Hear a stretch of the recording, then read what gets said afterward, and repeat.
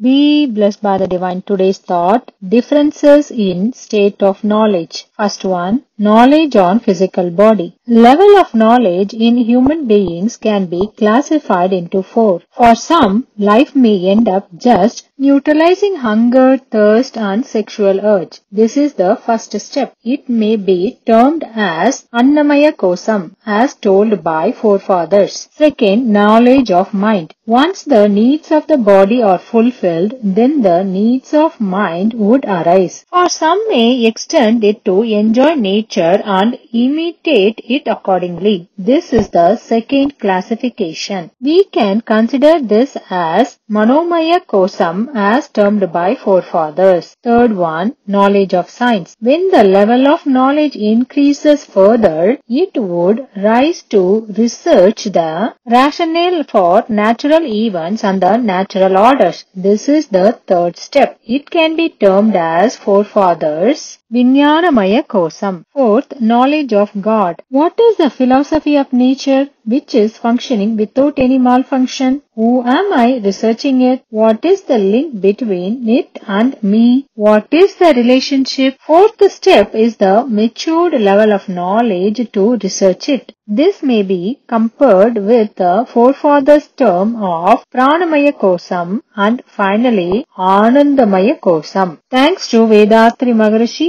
Vazhga Vaiyagam, Vazhga Vaiyagam, Vazhga Valamudan.